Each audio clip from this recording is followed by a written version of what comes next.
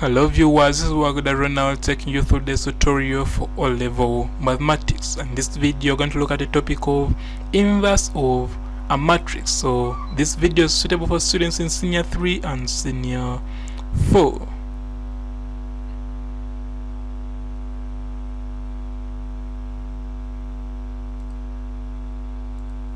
So the inverse of a matrix A is noted by this. So each time you see this symbol a to power negative 1 so as long as there's a power of negative 1 in matrices that is meant to mean inverse of ma that matrix. So if it is b to power negative 1 that is inverse of matrix b.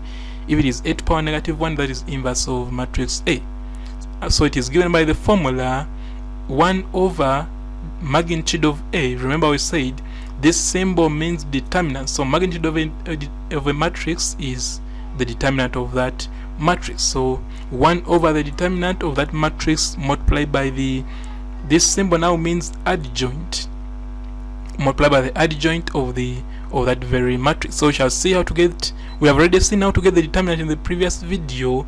So we shall now see how to get the adjoint of the matrix and after that we shall see how to get the inverse of a matrix so just so here adjoint of a 2 by 2 matrix is obtained by interchanging the entries in the major diagonal and also changing the signs of the entries in the minor diagonal. For example, so if I have a matrix A which is A, B, C, D, it implies that the determinant is this which I have already seen in the previous video, so product of the entries in the major diagonal minus product of entries in the minor diagonal to give you that. But for the adjoint, we said you interchange the entries in the major diagonal. So this is the major diagonal. Here there is A and this there is B. So what does that? How do you interchange? It means that this A will replace this D and this D will replace this A. I think you can see what has happened here that where there was A we have now put D and where there was D we have now put A so that's that's what we mean by interchanging what about changing the signs? Changing the signs means that if this b was positive, you make it to be negative, and if it was negative, you make it to be positive. For example, this b is now positive, so what we do, we put a negative here, and also this c was positive, so what we do, we put a negative there. So that's what they mean by changing signs of entries in the minor diagonal. So basically, that is what they mean by adjoint of a matrix. So now that we know determinant and we know adjoint, we can come and say that the inverse of that matrix is given by the formula 1 over the determinant multiplied by the adjoint matrix, which will come up with this 1 over the determinant multiplied by the adjoint matrix. So this, the whole of this now, the whole of this will be our inverse of that matrix A, which is here. So now that we know the formula for getting inverse of a matrix, we shall do a number of, of examples for you to grasp the concept of how to get the inverse of a matrix. So we shall start with example 1 which came from UNEB 19 UNEB 2019 paper 1 question 12a and it says given the matrices B which is that 2 8 16 negative 4 and matrix C which is 6 negative 4 negative 12 8 find the inverse of b plus c. So what we are going to do we have to first add the two matrices to get b matrix of b plus c. So come and substitute here where there's b put that. Where there's c put that. Then you add. So to add we shall say 2 plus 6 to come up with 8 then 8 plus negative 4 to come up with positive 4 then 16 plus negative 12 to come up with a positive 4 negative 4 plus 8 to come up with positive 4 so now that you have got matrix B plus C, we can go ahead and get its determinant first. So determinant will be this product minus this. So 4 times 8 times 4 which is that and 4 times 4 which is that. So 8 times 4 is 32, 4 times 4 is 16. When I subtract the 2 I'll come up with 16. So that is our determinant of matrix B plus C. The next I also have to get the adjoint. So adjoint will so adjoint will be by interchanging first these entries I think realize that. In this case it means that this 8 will come and replace this 4 and this 4 will come and replace this 8 uh, as you can see it here where there was 8 we have put 4 and where there was 4 we, shall, we have put 8 for the minor diagonal this was positive and this was positive. So what we do we change the sign. This will now become negative and this will also become negative. So that is how they get the adjoint. So now that we have got the adjoint we shall multiply by 1 over the determinant. So 1 over the determinant determinant was 6 so 16 so shall say 1 over determinant multiplied by adjoint will give you the inverse. So what we shall do next is to use scalar multiplication. So 1 over 16 will multiply each entry inside this matrix. So 1 over 16 times 4 will give you negative 1 will give you positive 1 over 4 then 1 over 16 times negative 4 will give you negative 1 over 4 1 over 4 1 over 16 times negative 4 will give you negative 1 over 4 then 1 over 16 times 8 will give you positive 1 over 2 so that will now be our inverse which they wanted and now let's see how much can be awarded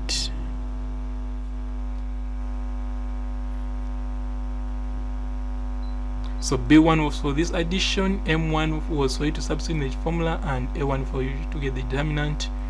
Then m1 was for this substitution and a1 for the output. So basically that's what they wanted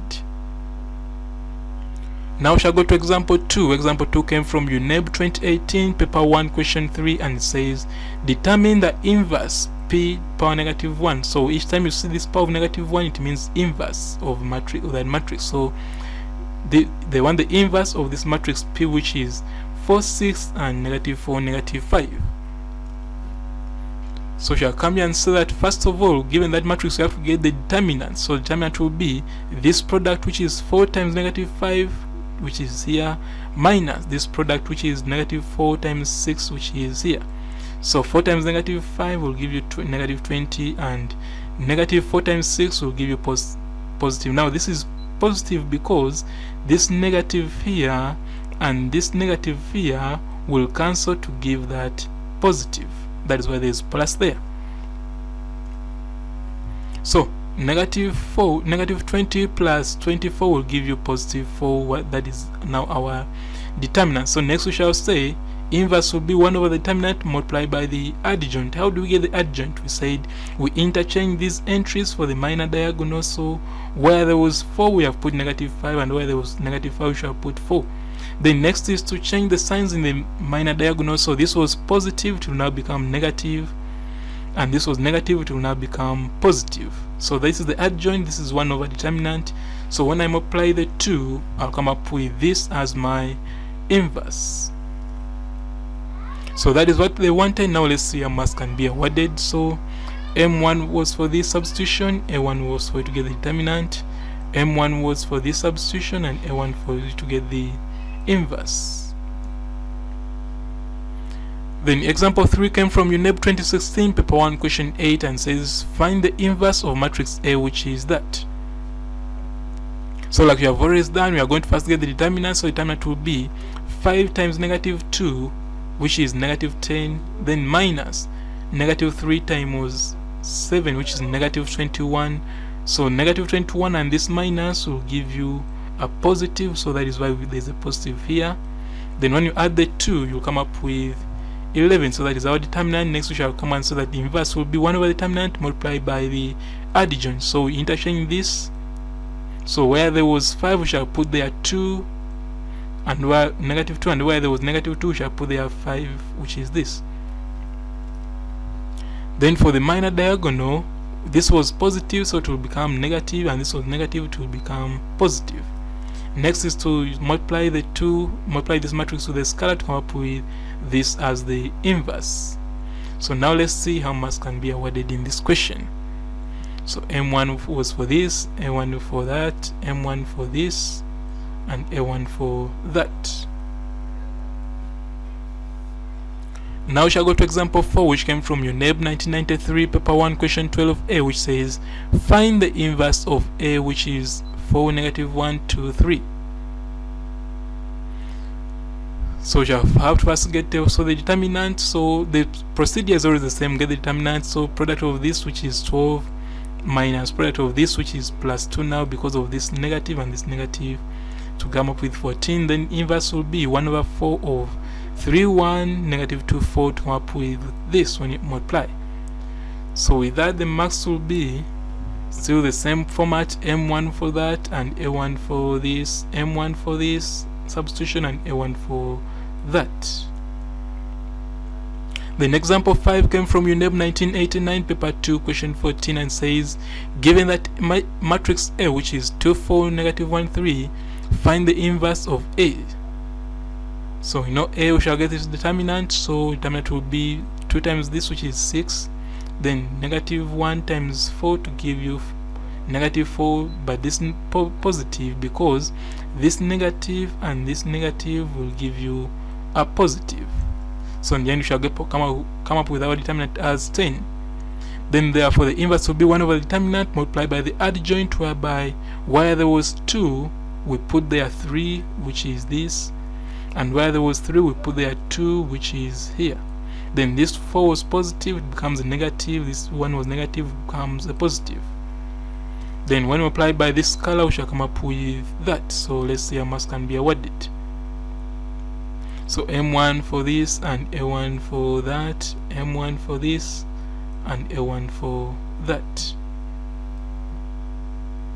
The example 6 came from UNEB 1987 paper 2 question 14 and says find the inverse of 3 2 4 2 so we shall come here and say let a be that. Therefore determinant of a will be product of major, major diagonal which is this minus product of minor diagonal which is that to come up with negative 2 as our determinant. Therefore the inverse will be 1 over negative 2 multiplied by the adjoint. So adjoint means where there was 3 we shall put there 2 and where there was 2 we shall put there 3 then this 2 was po positive it will become negative. This 4 was positive to become negative. So when I'm applied by this scale of 1 over negative 2 I'll come up with this matrix and that will be my inverse. So let's say a mass can be awarded. Now m1 will be for the substitution a1 for output m1 for the substitution a1 for the output so that brings us the end of this video. What i'm going to do i'm going to leave you with a set of questions on inverse of a matrix for you to grasp the concept